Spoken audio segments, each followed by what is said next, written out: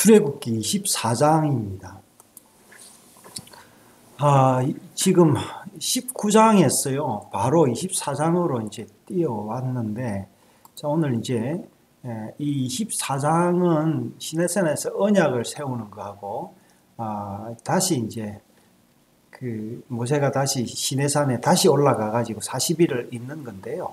자, 19장을 잠시 한번 보겠습니다. 19장에 이제 19장에서 아, 이렇게 시내산에서 자, 19장 한번 설명해 보세요. 집사님. 아, 저 사모님. 음, 19장은 네. 이스라엘 백성이 이제 음. 어, 시내산에 도착을 해서 음. 하나님이 이제 말씀하신 대로 이제 약속을 주시려고 말씀을 주시려고 준비를 하라 그랬잖아요. 네. 어, 네. 첫째 날, 둘째 날 예, 준비해- 준비해서 준비해라. 네. 셋째 날에 네. 산으로 올, 네, 오되. 산 어, 위로는 올라오지 말고 예. 백성들은 다 네. 밑에 있으라고 그렇, 음. 그렇게 하시면서 셋째 날 하나님이 음. 나타나신 거잖아요. 음. 나타나셔 불 가운데 나타나셔가지고 이제 이스라엘 백성들에게 말씀을 주시려고 하는 그런 음. 장면이죠.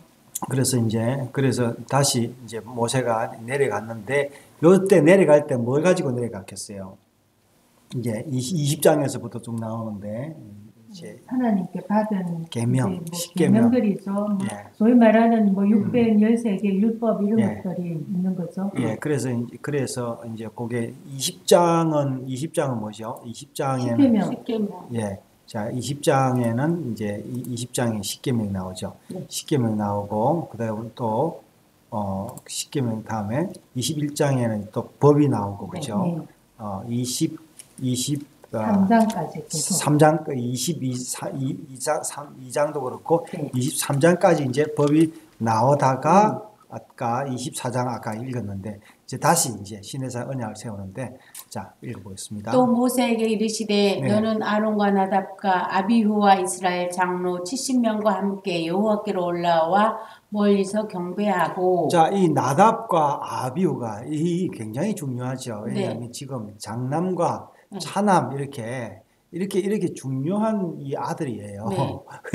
지금 근데 중요한 아들 나중에 이제 나답과 아비우가 어떻게 되는지 우리가 알잖아요. 네. 자, 그래서 이제 나답과 아비우가 이렇게 이렇게 중요해서 어떻게 보면은 하나님을 먼저 경험한 사람들이죠. 네.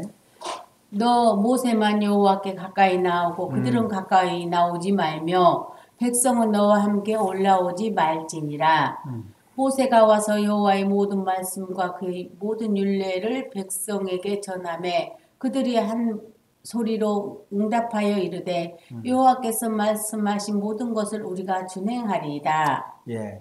자, 그래서 이제 다시 이제 뭐예 3장에 3절에 보면 또 다시 내려왔던 것 같죠. 네. 올라와서 또 내려가고. 그래서 지금 그 모세가 시내산에 올라간 게 뭐 3, 4회가 더 되고 음. 8차까지 8차까지 있다고 누가 이제 그렇게 분석을 해놨는데 이제 요 요런 이야기예요. 자, 4절 보겠습니다. 모세가 여호와의 모든 음. 말씀을 기록하고 이른 아침에 일어나 산 아래에 제단을 쌓고 어. 이스라엘 열두 지파대로 열두 기둥을 세우고 예, 그렇죠. 이스라엘 자손의 청년들을 보내어 여호와께 소로 번제와 화목제를 드리게 하고 여기 청년들, 이 원문에도 청년들이라고 나오는데 아마 이 청년 가운데 여호수아가 있었던 것 같아요. 네. 음, 네.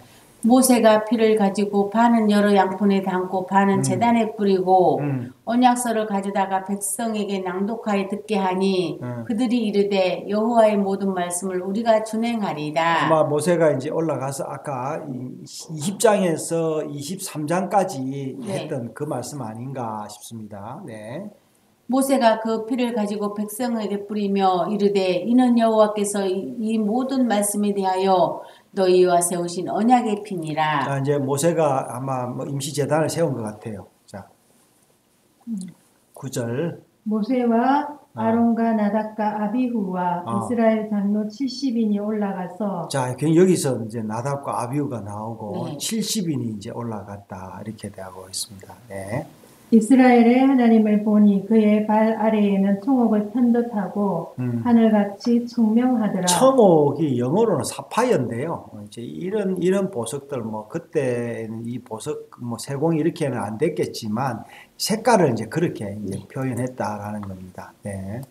하나님이 이스라엘 자손들의 존귀한 자들에게 손을 대지 아니하셨고 음. 그들은 하나님을 뵙고 먹고 마셨더라. 본래는 이제 하나님 보면 어떻게 되겠어요? 죽어야 되는데 음. 하나님이 이들을 죽이지 않았다. 왜냐니까 아까 왜왜왜 죽이지 않았어요? 아까 피를 필요. 재단에 뿌리고 이제 그래서 하나님과 언약을 체결했다. 어떻게 에, 내가 그 피를 피 가지고 제사를 지내면은 너희는 아, 나를 볼 수 있다. 뭐 이런 이런 의미겠지요. 네 그리고 여호와께서 모세에게 이르시되 음. 너는 산에 올라 내게로 와서 아. 거기 있으라 내가 그들을 가르치도록 내가 율법과 계명을 친히 기록한 돌판을 내게 주리라. 자 그래서 이제 이게 시- 계명 이미 받았는데 네. 이제는 돌판 받으러 올라오라 이제 그런 이야기인 것 같습니다.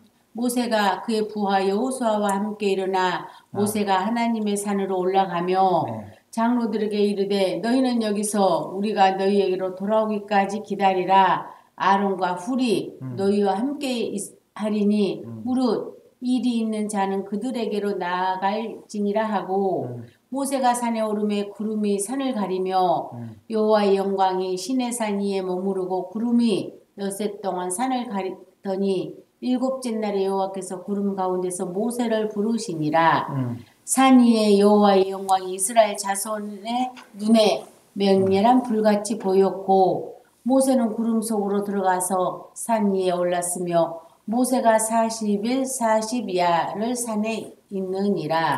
자, 그래서 모세가 이제 여기 산에 올라가서 40일 동안 금식 기도를 하면서 이제 네, 돌판을 받으려고 하나님 돌판 받으러 올라오라 그랬잖아요. 네. 그러니까 돌판 돌판을 가지고 간 게 아니에요. 네. 예, 돌판 받으러 이제 올라간 요 이야기가 이제 음, 돌판도 받고 네. 내려오면서 이제 음. 네. 성막에 대한 모든 어떤 아. 계시도 받아서 내려오게 네. 되는 거죠. 예, 그래서 아, 오늘 이제 요 나는 이제 다시 한번 보면은 이제 19장 19장에서 있죠. 예. 이제 10, 19장 이제 19장 19장에서 아, 24장으로 이제 오늘 네. 예, 이제 내려온 거를 이제 내가 우리가 이제 읽었습니다.